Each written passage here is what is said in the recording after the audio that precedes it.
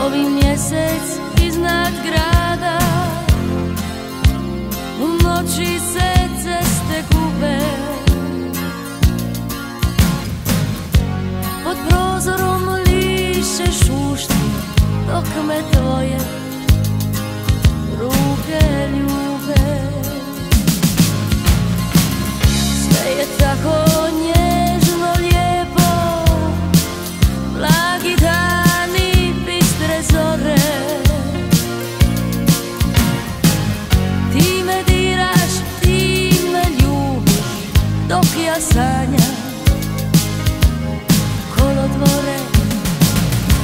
Yeah.